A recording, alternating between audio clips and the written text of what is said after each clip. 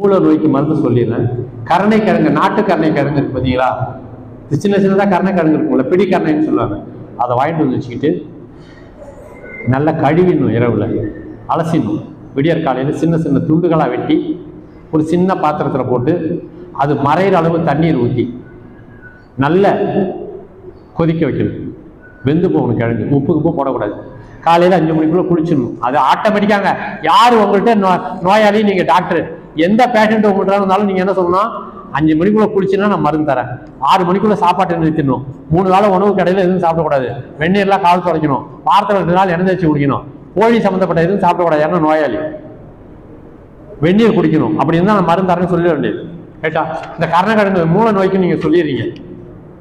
இந்த குளிச்சுட்டு வந்து இந்த வெந்து போன கிழங்கு இருக்குல்ல அது தோலோட சாப்பிடணும். சும்மா சின்ன துண்டு தானே ஒரே ஒரு துண்டு தானேங்க செத்தா போயிட போகிறாங்க அந்த தண்ணியும் குடிச்சிட்டு தொடர்ந்து முடிஞ்சால் சாயந்தரத்தில் ஒன்று ஒரு கிழங்கு. இப்படியே ஒரு அஞ்சாறு நாளைக்கு குடிக்க சொல்லுவோம். இந்த குடல் உள்ளே இருக்கிற காற்று கொஞ்சம் கொஞ்சமாக வெளியேறி நீரும் வெப்பமும் வெளியேறி இந்த குடல் கீழே தொங்குச்சில மூலம் ஃபைல்ஸ் உண்மையில் அது குடல் தான் அது. இந்த ஆட்டுக்குட்டிலாம் புழுக்க போட்டுதுன்னா பார்த்தீங்கன்னா நான் நிறைய பேசுவேன். காலையிலேயே ஆரம்பிச்சிருக்கலாம். நீங்கள் நல்லா தூங்கி எழுந்திரிச்சு வந்தீங்களா மெதுவா? பத்து மணிக்கு ஆரம்பிச்சுன்னா இவ்வளோ பசியோட நம்ம பேச வேண்டிய அவசியமே இல்லை. அது திருப்பி கு- ஆடு புழுக்கப்பட்டது திருப்பி உள்ளே போயிடும் சில பேருக்கு நம்மளுக்கு எல்லாருக்கும் அப்படிதான் உள்ளே போயிடும் வெளியே இருக்கும்போது வரும் திருப்பி உள்ளே போயிடும் ஆனால் சில பேருக்கு மட்டும் தொங்கிடும் இவங்க அது வந்து உள்ள தள்ளி விட கஷ்டப்படுவாங்க சிரமப்படுவாங்க சில பேர் கையால் தள்ளி விடுவாங்க. இம்சை தாங்காது உட்கார முடியாது. நேராக டாக்டர்கிட்ட போவாங்க. அது ஒன்றும் இல்லையா மூலம் வந்து நீண்டு வந்துட்டு அதை வெட்டிடலாம் பாரு. உண்மையில அது குடல். அது எலாஸ்டிக் நம்ம எலாஸ்டிக் ஜட்டி எல்லாம் தூக்கி தண்ணியில் போட்டிங்கன்னா அது அப்படியே தொங்குனது தொங்குனதை மறுபடியும் திருப்பி இப்போ டைட்டாக பிடிக்காது. அது மாதிரி அந்த லூப்ரிகேஷன் அந்த ஃபிரிக்ஷன் இல்லாமல் போயிடும் உராய்வு போயிடும் அந்த இழுப்பு தன்மை இல்லாமல் போயிடும் இது என்ன ஆகும்? தொங்குனது தொங்குனதாவே போயிடும். திருப்பி இருக்காது உள்ள. இந்த ஹைட்ராலிக் சிஸ்டம் வேலை செய்யுது. இந்த சிப் டாக்டர் என்ன சார் இது நீட்டு போயிட்டு வெட்டேஞ்சிடுவாரு இவன் தற்செயலாக என்ன செய்வான்? தருபடி இவனுக்கு தானாவே சரியாயிடும். கொஞ்ச நாள் கழிச்சு.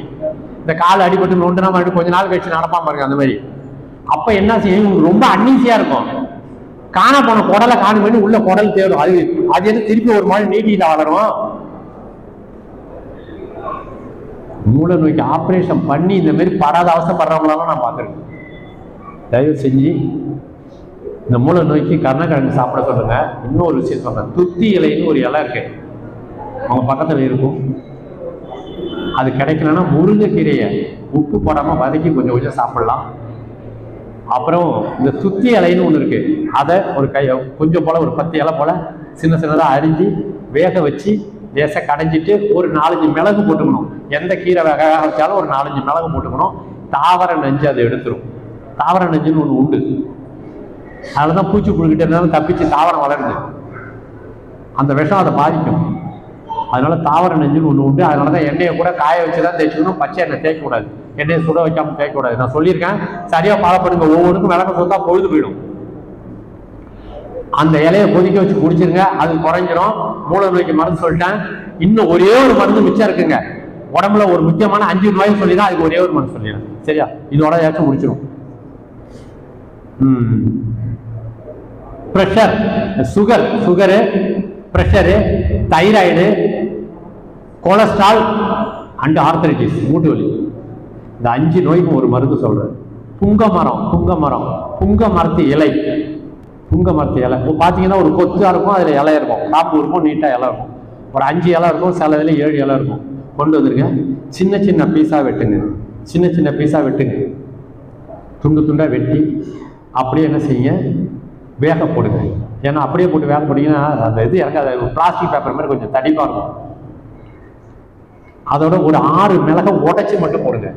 மூணு காம்பும் அது உள்ள இலையும்.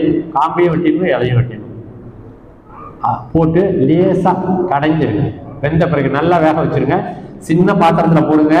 அது மறையிற அளவு மட்டும் தண்ணி ஊற்றுங்க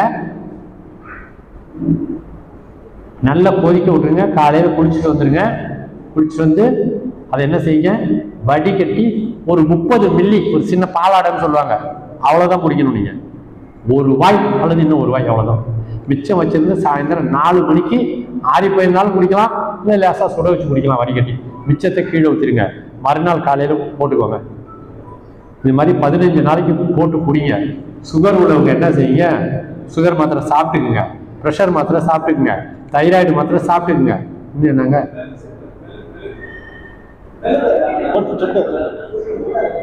மிளகு போட சொல்லிட்டேன். அப்புறம் ஆர்த்தரைட்டிஸ் மூட்டு வலி உள்ளவங்க சாப்பிட்டுக்குங்க. கொலஸ்ட்ரால் அவங்களும் சாப்பிட்டுங்க உங்க அளவு இப்போ எடுத்துங்க போனது எடுத்துங்க பதினஞ்சு நாள் மாத்திரையும் சாப்பிட்டுருங்க. இந்த புங்காரையும் சாப்பிட்டுருங்க. பதினாறாவது நாள் காலையில் போயிடுங்க அளவு குறைஞ்சிருக்கான்னு பாருங்க. மூட்டு வலி குறைஞ்சிருக்கான்னு அங்கே போய் பார்க்க முடியாது. உங்களுக்கே தெரியும். குறைஞ்சிருக்கா இல்லையான்னு. உங்களை கையெழுத்து கும்பிட்றேன். நல்லா போணுச்சுன்னா தயவு செய்து பக்கத்து வீட்டுக்காரங்கள்ட்ட சொல்லுங்க.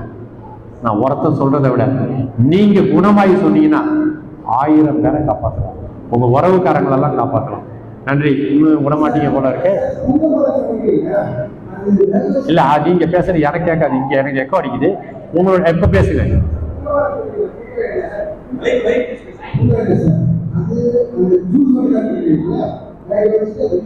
ஆமா ஜூஸ் தான். அதை வடிகட்டின்னு சொன்னேன். நான் சொன்னத இது ரெக்கார்டிங் அப்படியே இருக்கு உங்களுக்கு. ஒரு ஒன்றரை மணி நேரம் ரெண்டு மணி நேரம் ரெக்கார்டிங் இருக்கு. ரெண்டு மணி நேரத்துக்குள்ளதான். இதை இவங்க வச்சிருக்காங்க. யூடியூப்ல நீங்க எப்ப வேணாலும் கேட்டுக்கலாம். நீங்க நான் சொல்லி கொடுக்கறத அப்படியே ஃபார்வர்ட் பண்ணிக்கலாம். ரெக்கார்ட் ஆயிருக்கு.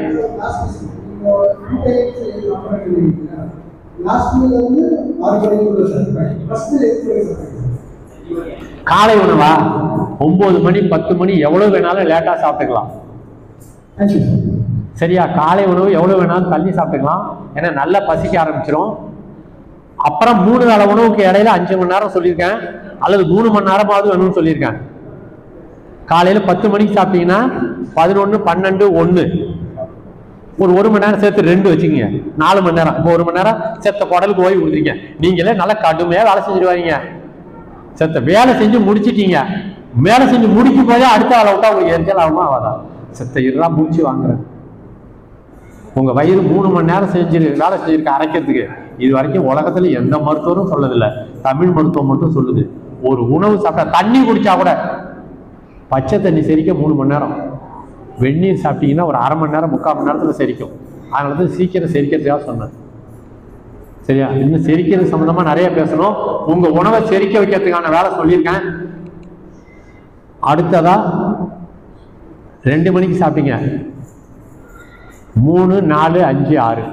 அடுத்த நாலு மணி நேரம். மூணு வேளை உணவுக்கு இடையில நாலு மணி நேரம் இருக்குது ரெண்டு வேளை வேணும் எடுத்தீங்கன்னா ஒரு பதினோரு மணி எடுத்தீங்கன்னா அடுத்தது அஞ்சு மணிக்கு முடிச்சிடலாம் அடுத்தது.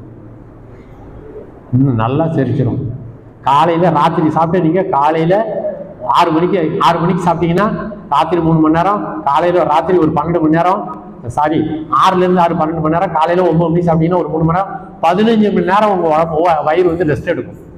இது வரைக்கும் நீங்கள் எத்தனை வேலை எப்படிலாம் சாப்பிட்டீங்க யார் யாருக்காக சாப்பிட்டீங்க என்னென்னத்தெல்லாம் சாப்பிட்டீங்க ஆக்கி வச்சுன்னு சாப்பிட்டீங்க புடிவாதத்துக்காக சாப்பிட்டீங்க.